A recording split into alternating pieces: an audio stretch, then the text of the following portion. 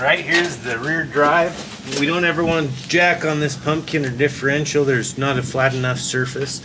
And plus, you can't weight or balance the vehicle correctly there. It's too tipsy. So we always try to go ideally here. If there's not enough space between here and here for your jack, you find a flat spot right here between the U-bolts where you then have to thread the top of your jack up to hit there. And that's the place we want to jack on all four quarters if we're going to jack it up. And then we don't ever want to try to get one axle up with one jack.